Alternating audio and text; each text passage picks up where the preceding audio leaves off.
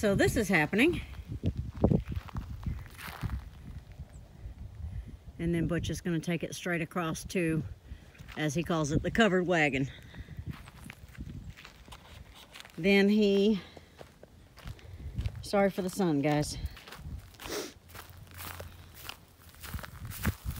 He got these dug in today. So the railroad ties to hold back the hill in between the garden beds. Then we have our arch trellis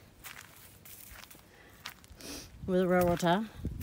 Not too much uh, bare dirt here, so if we need to put another one up there, if it starts to pile up, then we'll just stack another railroad tie on top of it and put a piece of rebar down through them. But got all the beds completed. We have one more to go. And then we're waiting on my brother-in-law to get here next week with his pickup truck. And we'll get three truck bed loads full of three-year-old compost from a farmer. Then we have a little bit of hay left, but everybody in all the beds have hay in them. They have logs, hay, working on the second worm bucket. So that one's ready. Just need some dirt to bury it before I put any kitchen scraps in it for the worms.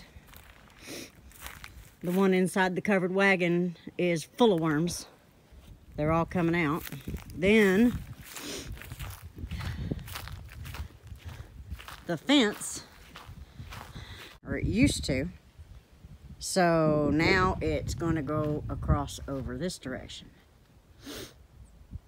And then I got four potatoes in each of the self-watering buckets. This one needs more um, soil, but that'll have to wait. We are getting there. Slowly but surely. Have a lot of baby plants inside to uh, put in the garden. And lots more that I want to plant, but right now I have nowhere to put them. And since this little guy doesn't leave my side, uh, that's the reason why we can extend the backyard. But he'll still be fenced in. He just can't go past this point. And then extra parking right there. We will lay some more gravel. So it'll be an adventure-filled uh, spring and summer. So stay tuned. Like, subscribe, and share. Here's the view from the top of the hill.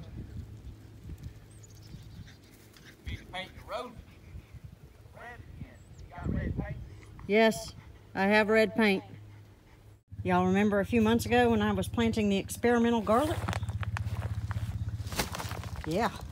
And then this is all some garlic that neighbor had in his fridge that had sprouted roots. And so he brought it over here to see if I could make them live.